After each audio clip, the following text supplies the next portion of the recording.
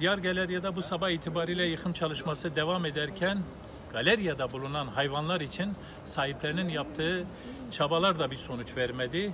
Bunun üzerine Diyarbakır Barosu yıkım kararıyla ilgili olarak yürütmeyi durdurma davası açtı.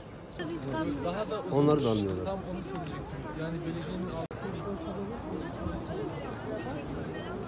Şimdi yıkım durduruldu resmi olarak.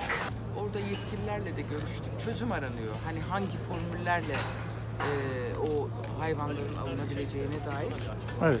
e, çözüm aranıyor. Şu anda riskleri tartıştık biraz. Çünkü buraya vincin girmesi durumunda zeminin sağlam olmadığını söylüyorlar. Yani vincin çökebileceğini söylüyorlar. Herhangi bir insanı yukarı göndermeyi doğru bulmadıklarını ifade ettiler. Ee, yani değerlendiriyoruz biz de nasıl bir formülle olabilir. Zirai drone önerdik.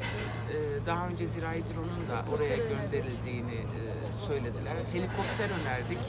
Helikopterin etkisiyle çökebilir dediler.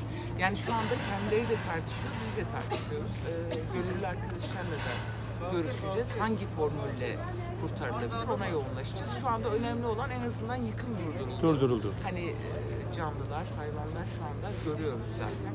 Hareket halindeler. Teşekkür ederim.